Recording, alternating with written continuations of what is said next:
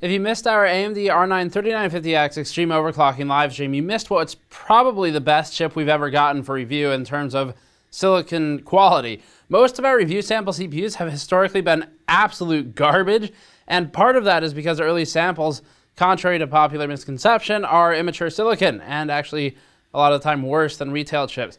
In this instance, the 3950X's binning appears to reveal itself. In our stream, we first set forth to plot the frequency scale at a given temperature, which allowed us to better show how your cooler choice will impact the stock frequency of the CPU. We then embarked on our mission to overclock the CPU past 5 gigahertz, which we successfully did. We even had a timed run for Blender for a real production workload to see how Ryzen scales with frequency. Before that, this video is brought to you by the Corsair Virtuoso RGB wireless gaming headset. The Corsair Virtuoso headset is comfort focused with a set of memory foam earpads, headband, and lightweight construction. The Virtuoso wireless headphones use 50mm drivers that range from 20 Hz to 40 kHz with a wireless connection that ranges up to 60 feet. Corsair also includes a detachable, high-quality microphone for voice comms. Learn more at the link in the description below. So 3950X worked really well for overclocking. And all these CPUs are sort of binned as you get towards the higher end. AMD it uses the same chiplets for everything, which is why its cost is so low and why it can afford to kind of product segment the way it does. And so what happens is as you get towards 3900X, 3950X, theoretically 3800X, those CPUs should have better bins than the lower tier chips. The lower tier chips are lower tier because they bend out worse in testing. And so the 3950X, although we don't have any meaningful sample size, obviously, so we can't really draw firm conclusion, but the 3950X appears to be, be better binned, which would make sense. And ours, in the very least, uh, for the voltage required at a given frequency, it's just, it's pretty impressive compared to what we had for the 3900X and the 3800X. So we're pretty happy with how this specific 3950X worked out. Each one's going to be a little bit different. Today, we'll be talking about the results we got for extreme overclock and also the results we got for frequency scale versus cold. And that's important for you, even if you don't plan to do XOC, obviously, or even if you don't care about the overclocking part of the content, because if you run the CPU stock, as we've stated several times now, all of these modern AMD CPUs are basically like NVIDIA GPUs, and that they boost based on things like temperature and power budget. And so if you drive the temperature way down, you can boost it higher. And way down here is kind of relative because for every couple degrees, you get a frequency bump. So that could be the difference between going with, say, an ND15 or 280 CLC and maybe a 120 air cooler. That's not so good. So uh, we're going to talk about that today.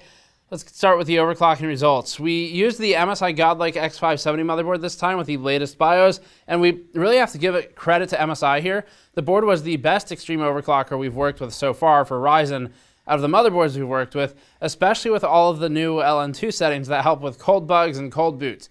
We were able to drive temperature down to minus 140 without any cold bugs, and we started to trip the crashes from cold reliably at about minus 170 degrees Celsius. In our previous work with a less mature Ryzen, we weren't able to go below minus 90 degrees without bugging out. The end result was that we were able to hold 5.3 gigahertz all core stable across all 16 cores and all 32 threads. If you're wondering what 5.2 or 3 gigahertz looks like at almost 1.7 volts, the power consumption for this, we, so for current, we were at about 35 amps or so.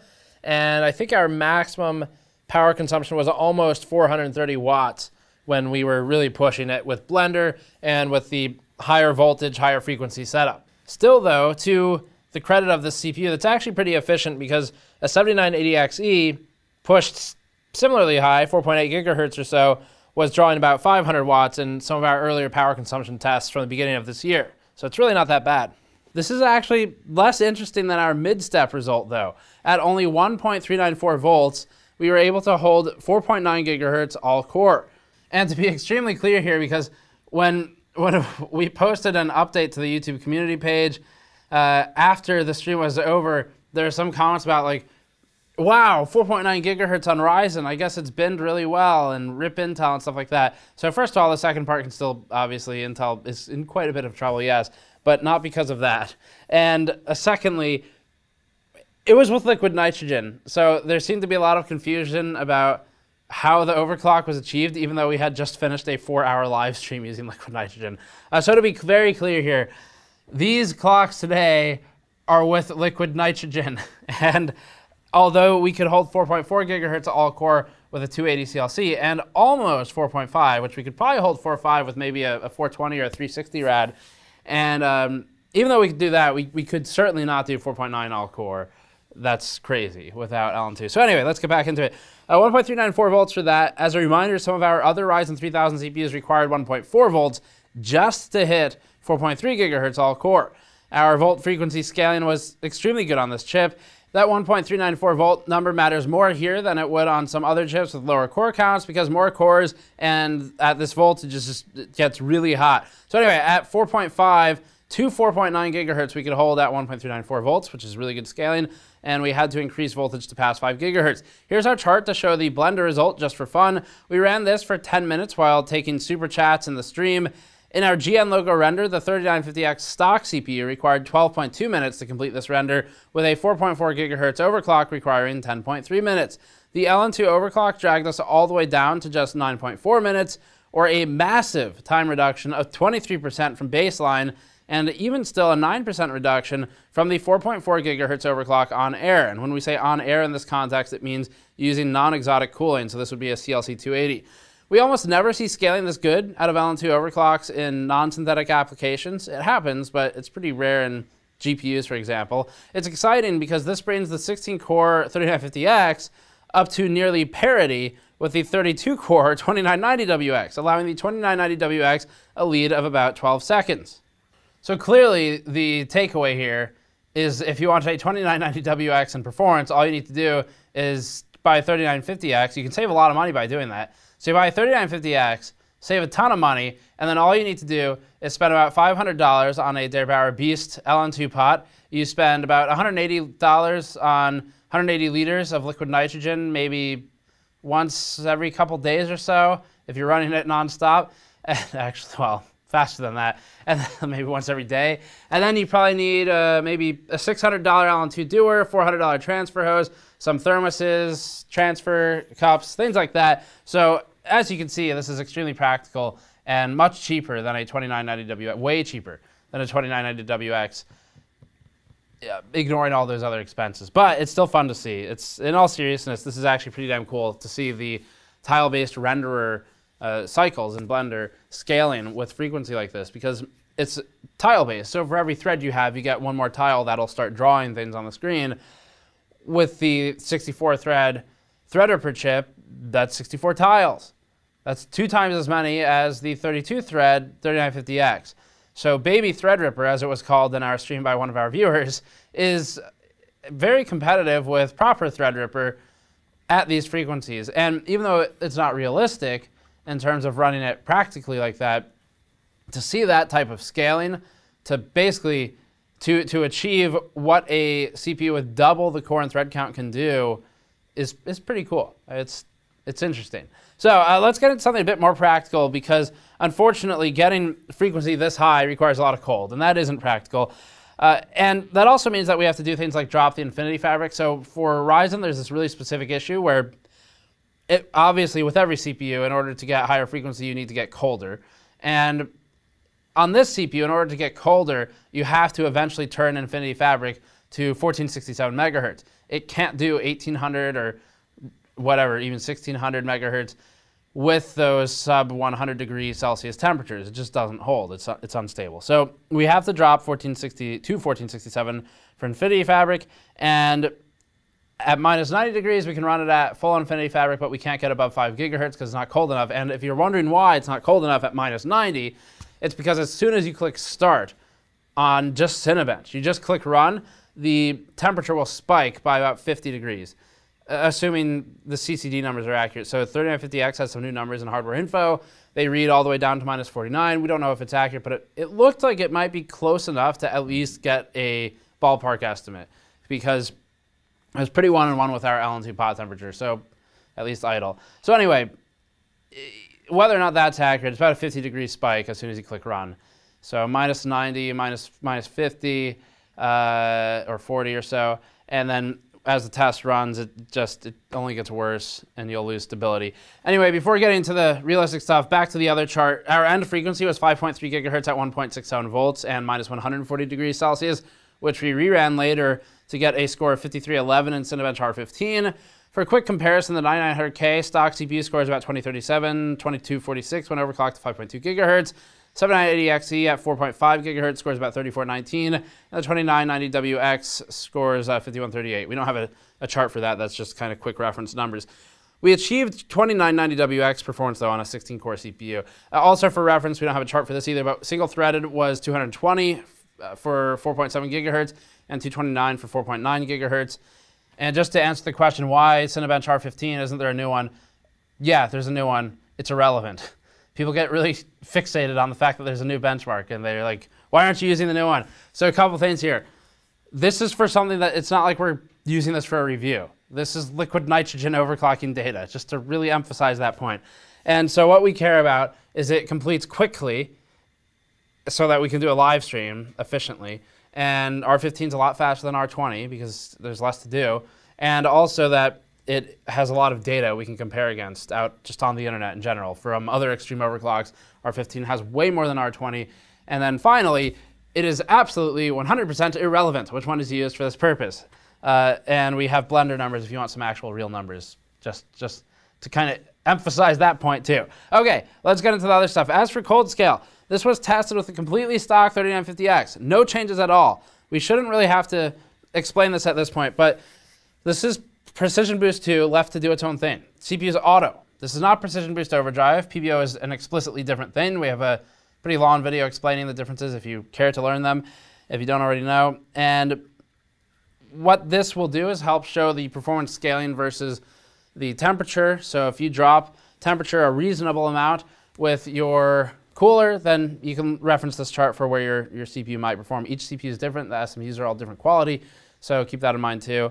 And uh, separately, this is using liquid nitrogen as a tool. So if you're one of the people who's like, ugh, liquid nitrogen content, boring, that's not real, then this is the part you care about. Because what we're doing is we're using it as a tool to control the temperature. Using the LN2 doesn't just instantly set you to minus 198. Uh, so what we're doing, by controlling temperature, we, we basically kind of slow pour or don't pour at all and allow the CPU to get as hot as we want it. So we'll run it at 90, run it at 84, 70, above, above zero, uh, you know, down to 50, and maybe at 50 or so, it stops becoming a, an achievable temperature in most environments. And so then we scale it all the way down to minus 91, just to see what happens at that point. So that's what we're doing here. At 84 degrees Celsius, which is where you'd be in a poorly ventilated case with a bad cooler, we ended up at about 3825 megahertz all core.